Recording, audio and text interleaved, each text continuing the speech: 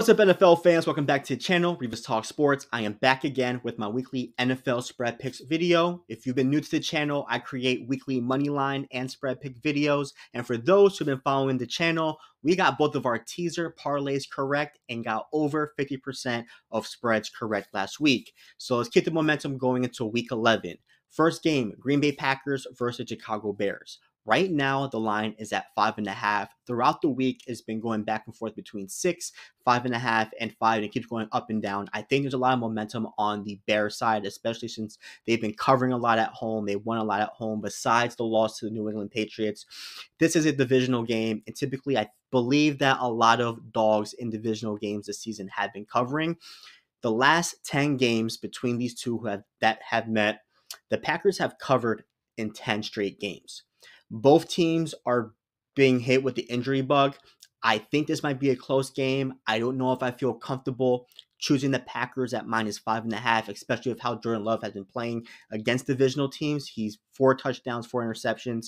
I think this is a Josh Jacobs kind of game against his Bears subpar run defense. But at some point, obviously, Jordan Love's going to have to throw the ball. He's been a little bit rocky this season. I don't know if I like the minus five and a half. This is going to be a part of one of the teaser parlays I will have for this video. Green Bay Packers, we are taking it from five and a half down to minus two and a half. So instead of taking minus five and a half as favorites, I'm going to alternate spread it and get it under a field goal. I do think the Packers team will win this game outright. I feel more comfortable in this divisional matchup taking the Packers under a field goal than I do with them close to two field goals to win. So give me the Packers minus two and a half. Jacksonville Jaguars versus the Detroit Lions. The line is near two touchdowns. The Lions have been one of the hottest teams in the NFL, and they also cover the spread a lot at home, and they're dominant at home. I do not like laying double digit spreads. I'm going to make an exception for this game. Give me the Detroit Lions minus 13 and a half. The Jaguars have been sneaky covering the spread, but the Lions are at home. They're very dominant at home, and they cover the spread like crazy at home giving the Detroit Lions to beat the Jaguars by at least two touchdowns. And even if the Jaguars are up by two touchdowns at half point, the Lions will still come back and win by two touchdowns probably. So give me the Detroit Lions minus 13 and a half. Baltimore Ravens versus the Pittsburgh Steelers. Right now, the line is at three and a half. It did start the week at three, just popped up to three and a hook. The Pittsburgh Steelers are underdogs. Under Mike Tomlin, they have a very great record against the spread as underdogs. The Baltimore Ravens have been going you know, toe to toe with the Steelers the past few years, and they've been success. They have not been successful the past few meetings, but I like the Pittsburgh Steelers at plus three and a half. I do think that the Steelers team can win this game outright. The Ravens' pass defense wasn't able to stop Joe Burrow. They weren't able to stop Jameis Winston. And then you have Russell Wilson that's on the field with the Steelers. I think they have a puncher's chance to win this game outright. If not, have it be a very close game. Give me the Pittsburgh Steelers at plus three and a half. I do think that I do like them being at home underdogs, and I do like that plus three and a half spread at home against the Ravens. Minnesota Vikings versus the Tennessee Titans. The Minnesota Vikings are six point favorites in this game. I did not like how Sam Darnold looked last week, but I do think the Vikings should beat this Titans team by at least a touchdown. Give me the Minnesota Vikings at minus six. I do like the Vikings in this spot. I think they could bounce back and use this game as a bounce back game against the Titans. That kind of seems a bit defeated. Yes, their defense is quite good this year, but I don't see this Titans offense going tit for tat with the Vikings offense. So I do like the Vikings to win by at least six points or more. So give me the Minnesota Vikings minus six. Las Vegas Raiders versus the Miami Dolphins. Right now, the Lions at seven. I think they crept up at seven and a half, it's back to seven. The Raiders and the Dolphins are in two situations this year. The Raiders are pretty much down and out, eyeing their quarterback for next year's draft. Meanwhile, the Dolphins still have a chance to kind of run the table and then not only finish their division in second, but at least try to fight for a wild card spot. These two organizations are in two different directions. I do think the Dolphins need this game more than the Raiders need this game. So I do like the Dolphins to win this game outright. Don't know how I feel taking them as touchdown favorites. So this is going to be a part of the Green Bay Packers alt spread, I am taking the Dolphins from minus seven down to minus four. I do like the Dolphins to win and beat this Raiders team by at least a touchdown, but just from comfortability and getting these teaser parlays in, I do like the Dolphins at minus four. So I will be doing a parlay Packers minus two and a half and Dolphins minus four. LA Rams versus the New England Patriots. Right now, the line is at four and a half. It was at five. I think it went up to five and a half for a little bit, but then went down. But that went down to four and a half. To be honest, I do like the Rams to win this game outright. The Patriots have been very sneaky the past three games. They defeated the Jets and they defeated the Chicago Bears and they lost to the Tennessee Titans by three points. All three of them have pretty good defenses. They're going against the LA Rams that doesn't have good defense, just like those three teams that they faced. I do think that Drake Maye can have his moments against his Rams defense. I do think the Rams win outright, but I like Drake Maye's chance at home against his Rams defense. And I do think that this game could be a lot close. I think this could be like a 2017 kind 20 to 17 kind of game at Foxborough. Give me the Patriots at plus four and a half. I think this could be a lot closer than what people think. Give me the Patriots at plus four and a half. Indianapolis Colts versus the New York Jets. Right now, the line is at four. I believe it started like around three, three and a half, but there's a lot of momentum going the Jets side. I don't know if I feel comfortable choosing the Jets as four point favorites. I understand that the Colts are going to Anthony Richardson, but to go from Joe Flacco to Anthony Richardson, I guess there is some boom or bust play to Richardson style against his Jets defense.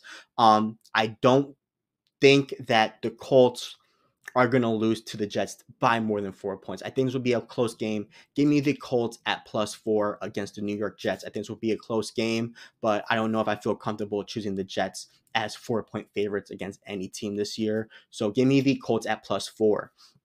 Cleveland Browns versus the New Orleans Saints. Give me the Browns at minus one. The, the at first the Browns were at plus one. It flipped to minus one. I think there's a lot of action on the Browns right now. Give me the Browns minus one. I actually trust Jameis Winston to throw against the Saints pass defense. That's bottom five, bottom 10 in pass defense. It's pretty much the same level as the Ravens pass defense than I do with Derek Carr throwing on this Browns defense. So I do like the Browns to win this game outright. They would probably definitely win this game, probably by at least a point. So give me the Browns minus one over the Saints.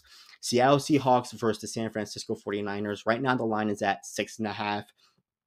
Give me the 49ers at six and a half. I don't have much faith in the Seahawks team. There can be a potential backdoor. I can see this game being 20 to 30 and somehow Geno just goes down the field and they score a touchdown. That could potentially happen, but I think the 49ers really need to make a statement in this game that they not only should be divisional leaders, but I think need to prove a statement that they're getting healthy, they're getting back for playoff time, and need to kind of get their mindset ready. So give me the 49ers at home. Give me the minus six and a half. Atlanta Falcons versus the Denver Broncos. Right now, the line is at two. I think it went as high as two and a half, three. But give me the Denver Broncos at minus two. I like them as favorites at home. This Falcons team has looked really well against the Carolina Panthers and the Tampa Bay Buccaneers, but when they have gone against at least a defense that had a pulse, they've either lost or they've won very closely. This Broncos defense is pretty much top 10 in damn near every single defensive category. I think they will probably stall the, the Falcons offense the uh, Bo Nix looked really well against the Kansas City Chiefs, and I think he can have at least one passing touchdown and run and one rushing touchdown in this game. But I like the Broncos at home. I think their defense can at least stop the Falcons' offense, and I think Bo Nix can cook a little bit in this game. Give me the Broncos minus two. Kansas City Chiefs versus the Buffalo Bills. Right now, the line is at two. I like the Chiefs here. I like them as underdogs. I think they could pretend. They, I think they can win at Buffalo. I don't know if I like the plus two. I'm going to use this as my second teaser parlay. Give me the Chiefs from plus two to plus eight.